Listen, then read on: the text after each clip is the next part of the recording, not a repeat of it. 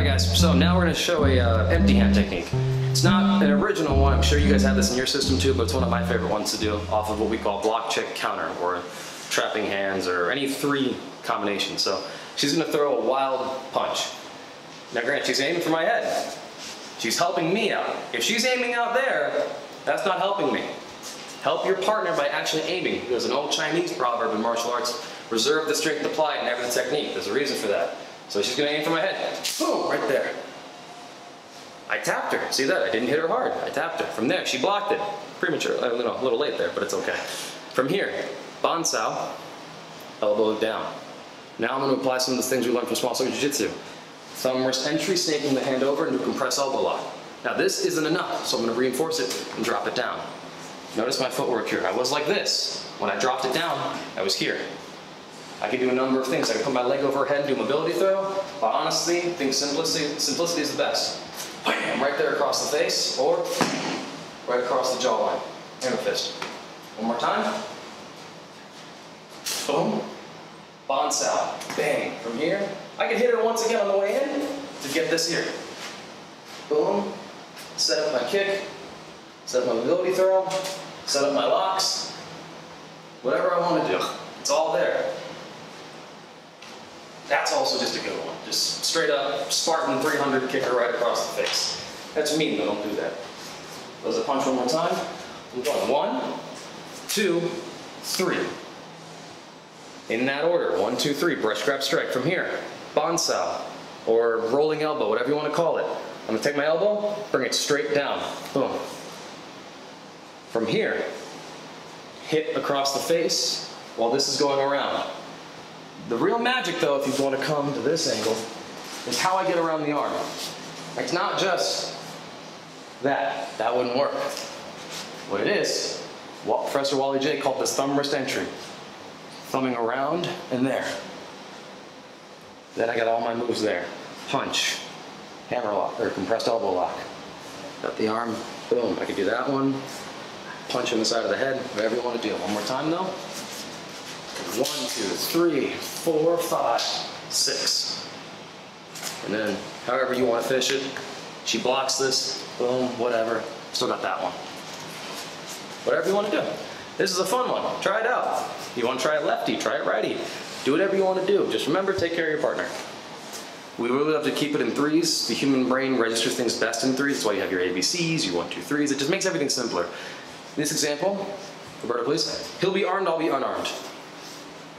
Really scary positioning for certain people, but we're training, we're having fun, we're relaxing now. We train this way so we can apply it in real life. He's gonna throw a forehand strike slowly. I'm gonna go one, two, three. Shoot this at his head. What happens if he doesn't block it? He gets hit. Again, he did block it, that's great. From here, I can do any number of things I want to do, but for simplicity's sake, best thing you can do here is just drive it forward. Driving it forward, boom, my hand is now past his head, but notice what I still got trapped in here. His weapon.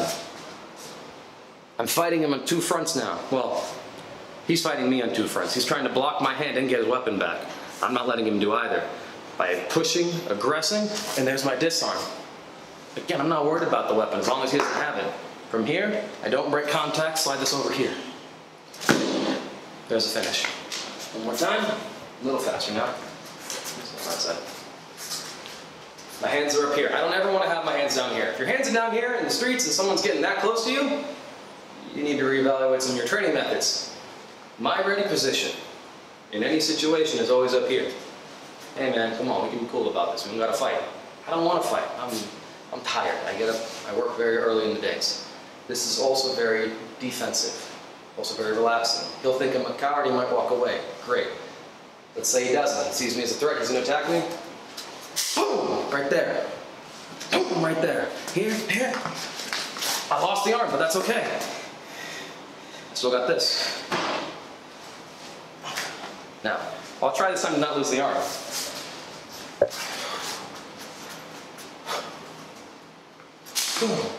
Notice how I stepped in on him. Most people aren't used to that. Most people, when they're aggressing you, or simplest way to put it, when they're bullying you, they think you're going to step back.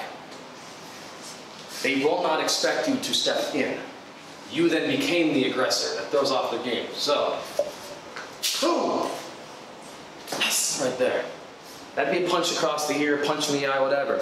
I'm not hitting him now because he's my partner. I want to be nice to him from here. Disarm here, slide this down, compressed elbow again. I don't need this hand because I'm keeping it braced up here on my shoulder. Any number of things I want to do. My favorite. This is a straight line downward. I'm just gonna hammer fist it. Just like I've seen all the kung fu movies, you know, just boom, right there. Or again, there's my knee. Take some Muay Thai classes, learn to throw those knees in there. Whatever you want to do. Step in on the attack. One of the things in Modern Arnis that we work on is attack the attack.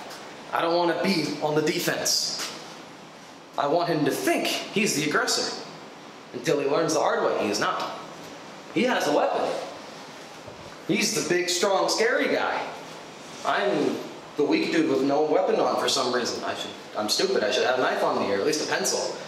I could use these, but then I'm blind. I don't want to do that. He throws that strike again. Oh no! Kill him right there. Bang! I cross his own center line. Look at where his head is versus his feet. If his head is past his feet, honestly, all I have to do is this, and he's gone. But I don't want to do that right now. If you get the guy's head past his feet, the balance is off. From here, shoot the disarm, get the lock. Do whatever you want to do. Attack the attack. Thanks, guys.